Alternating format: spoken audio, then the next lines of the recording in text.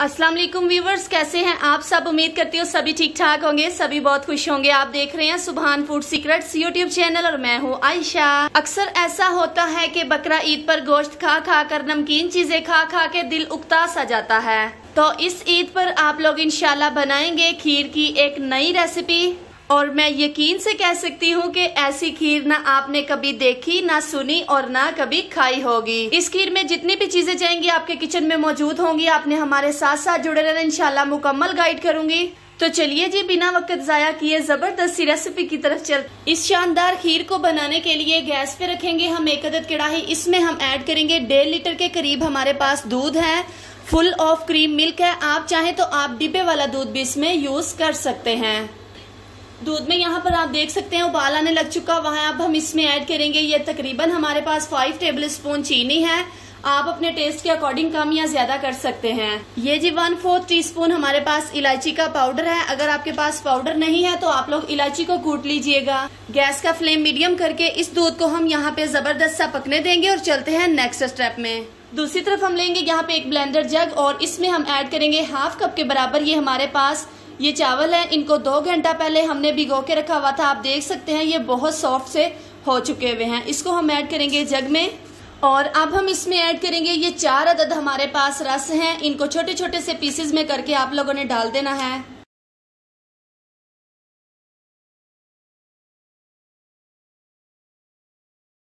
रस को ऐड करने के बाद यहाँ पर इसमें हम ऐड करेंगे थ्री टेबल स्पून ये हमारे पास खुश्क दूध का पाउडर है। ये टोटली ऑप्शनल है। आप डालना चाहें तो डाल सकते हैं।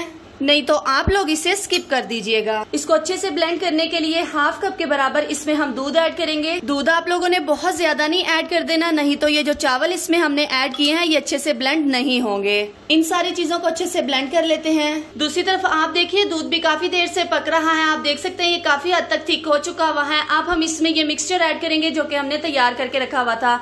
एक हाथ से आप लोगों ने मिक्स ये मिक्सचर ऐड करना है, दूसरे हाथों से आपने चम्मच को चलाते रहना है। और एक ही मरतबा में आपने ये मिक्सचर ऐड नहीं करना।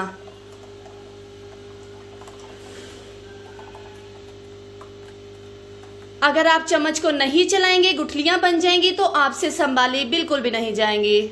साथ ही जी, हम इसमें ऐड कर देंगे ये तकरीबन two to three tablespoon पिस्ते और बादाम है, जिसको हमने यहाँ पे चॉप कर लिया हुआ है। अच्छे से हम इसे पकाएँगे, जब तक ये जो खीर है, ये अच्छे से गाढ़ी ना हो जाए। गैस का फ्लेम आप लोगों ने मीडियम रखना है और चम्मच को चलाते रहना है। साइडों से आप लोगों ने इसको हटाते जाना है ताकि ये इसी में ये मलाई वगैरह जो है ऐड होती जाए। और आप देख सकते हैं, ये थिक होने की तरफ़ आने लग चुका हुआ है। इसको बहुत ज़्यादा हमने थिक करना है। इसी दौरान मैं आप सभी से एक रिक्वेस्ट करूँगी कि अगर आप मेरे चैनल पे नए हैं तो सुबहान फ़ूड सीक्रेट को ज़रूर सब्सक्राइब करिएगा।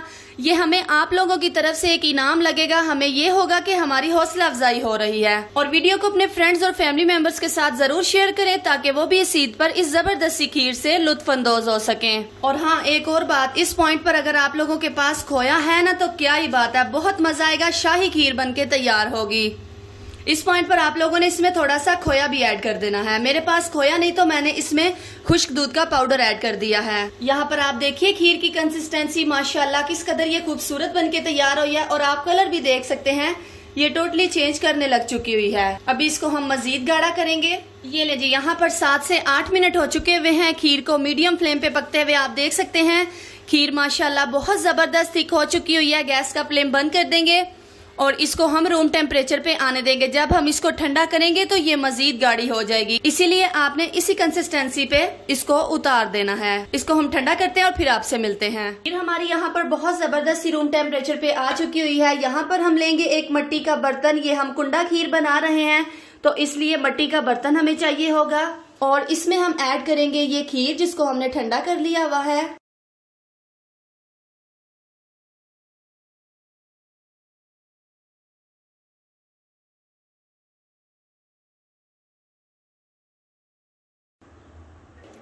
खीर को मट्टी के बर्तन में ऐड करने के बाद अब हम इसमें ऐड करेंगे, ये हमारे पास पिस्ते और बादाम है, जिसको हमने यहाँ पर बहुत बारीक काट लिया हुआ है। वो हम इसके ऊपर अच्छे तरीके से स्प्रिंकल कर देंगे। इसको हम कवर कर देंगे क्लिंग रैप से अच्छे तरीके से, ताकि हम इसको फ्रिज में रख सकें और बर्फ़ ना इसके ऊपर जम सके। अच्छे से आप लोगों ने इसे कवर कर देना है। और इसे हम रखते हैं तकरीबन तीन से चार घंटे के लिए फ्रिज में और मिलते हैं फिर आपसे। और फिर चलते हैं फाइनलों की तरफ़। आप लोगों को डिश आउट करके दिखाऊँगी कि ये कितनी ज़बरदस्त, कितनी टेस्टी और कितनी शानदार सी बन के तैयार हुआ फाइनल को मिस मत करिएगा। ये ले जी, यहाँ पर हो चुके हुए हैं, इसको दो घंटे फ्रिज में रखे हुए। और अब हम इसे खोल के चेक कर लेते हैं। तो अल्हम्दुलिल्लाह, आप देख सकते हैं, कुंडा खीर बहुत ज़बरदस्त ठंडी हो चुकी हुई है। इसको अब हम सर्व कर लेते हैं।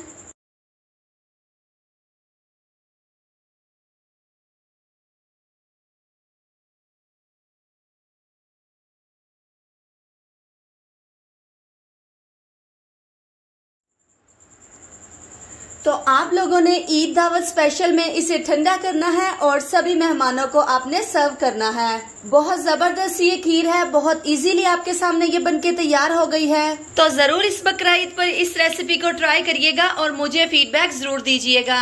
आप इस खीर का एक चम्मच लगाएँ और उसी की मिठास से आप लोग प्लीज़ चैनल को सब्सक्राइब कर दें। वीडियो के नीचे रेड कलर का बटन नज़र आ रहा होगा, आपने सिर्फ़ उसको प्रेस करना है। आपके पास हमारी हर वीडियो पहुँच जाएगी और हम जो है वो मोटिवेट हो जाएँगे। रेसिपी पसंद आई है तो प्लीज़ मेरे चैनल को सब्सक्राइब करें वीडियो को लाइक करें, अपने फ्रेंड्स और फैमिली मेंबर्स के साथ शेयर करें, ताकि वो भी इस ईद पर इस रेसिपी को ट्राई कर सके। नेक्स्ट वीडियो में मिलती हूँ। आपने अपना ढेर सारा ख्याल रखना है, दुआओं में मुझे याद रखना है। अल्लाह हाफिज।